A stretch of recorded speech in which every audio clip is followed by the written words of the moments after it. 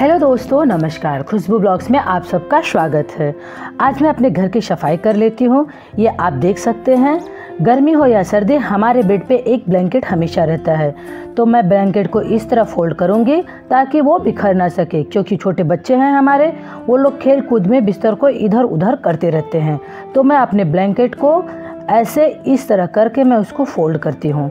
और ये देखो, ऐसे बना के एक पिलो के आकार में इसको दे देती हूँ। इसको अंदर ऐसे डाल देती हूँ और ये पिलो के जैसा बन जाता है। तो बच्चे चाहे जैसे इसको खेले, ये नहीं बिगड़ता है।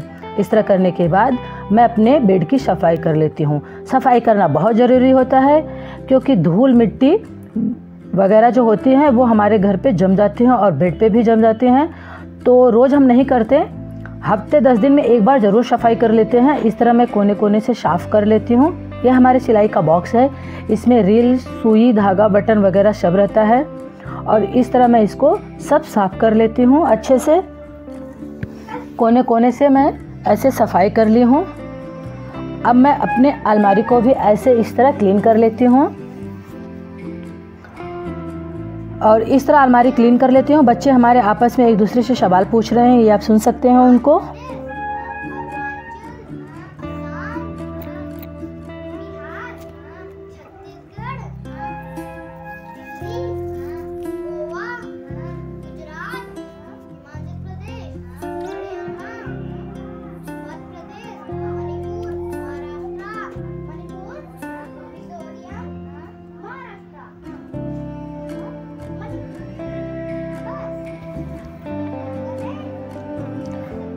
इस तरह मैं अलमारी को क्लीन करने के बाद मैं अपने ये जो कपाट है, मैं उसको भी क्लीन कर लेती हूँ, क्योंकि उसके ऊपर धूल, मिट्टी वगैरह सब जमा हुआ है।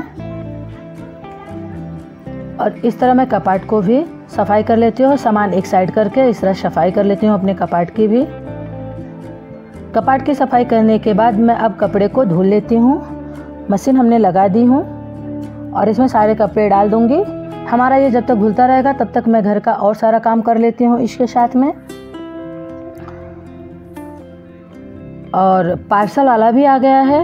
वैलेंटाइन डे के दिन हस्बैंड ने हमारे लिए एक सरप्राइज़ गिफ्ट प्लान किया था और मैं वो अपना गिफ्ट ले लेती हूँ। ले लेती हूँ इस तरह।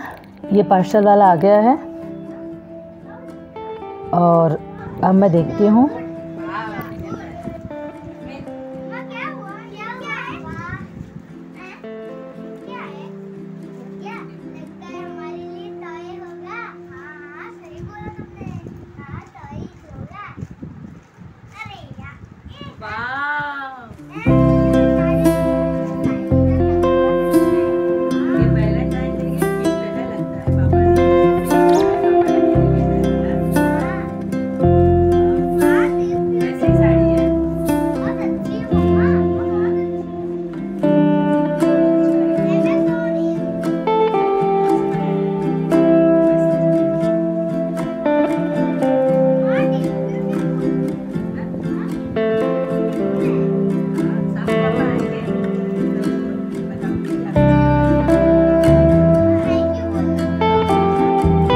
कपड़ा मेरा धुल के रेडी हो गया है, मैं उसको भी सुखवा लेती हूँ। मेरी तरफ़ ऐसे धूप आती है तो कपड़ा सूखने में कोई प्रॉब्लम नहीं होती है।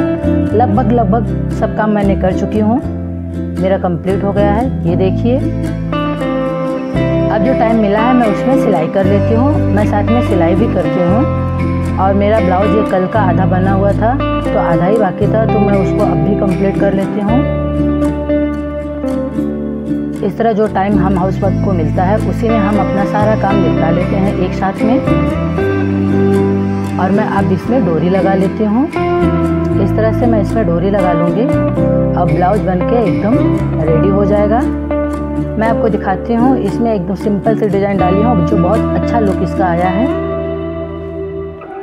ये देखिए, डोरी लग के कंप्लीट हो गया है। और ये आप देख सकते हैं। इसका जो लुक है ना, वो एकदम परफेक्ट तरीके से है। ये देखिए कितना सुंदर दिख रहा है। है ना एकदम सुंदर सा डिज़ाइन और ये हमने डबल कटोरी का बनाई हूँ। और इसकी जो कटोरी है, वो भी एकदम परफेक्ट तरीके से है।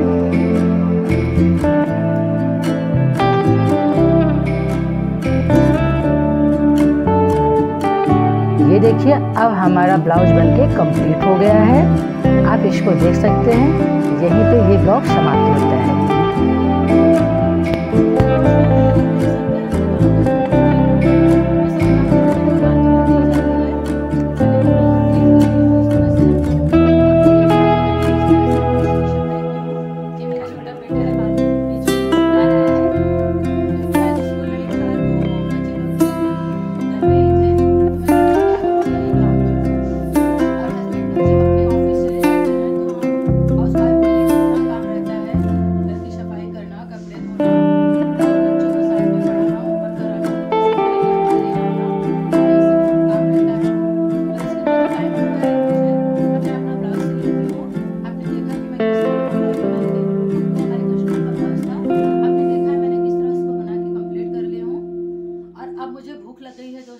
जा रही हूँ खाना खाने के लिए, फिर मिलते हैं एक नए वीडियो के साथ। तब तक के लिए नमस्कार दोस्तों।